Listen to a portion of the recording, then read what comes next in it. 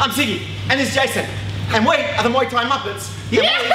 Like to skip like this. Uh, let's go. Combination. Right, combination today.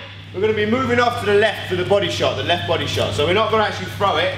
No, we're not going to throw it just standing from here. I'm going to be moving round and get right in the front here, right in the, what's this area called in the body, Zig? Called fat cunt area. The, the sternum.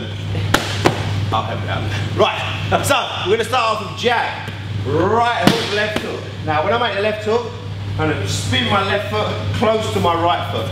Yeah, and from there I use the shoulder and I turn, change the angle, bang, oh, up to the front of the body, okay?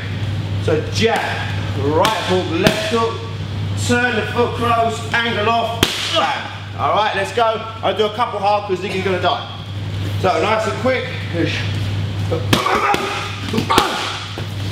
Again. I think I just shit my pants. That's how it's done.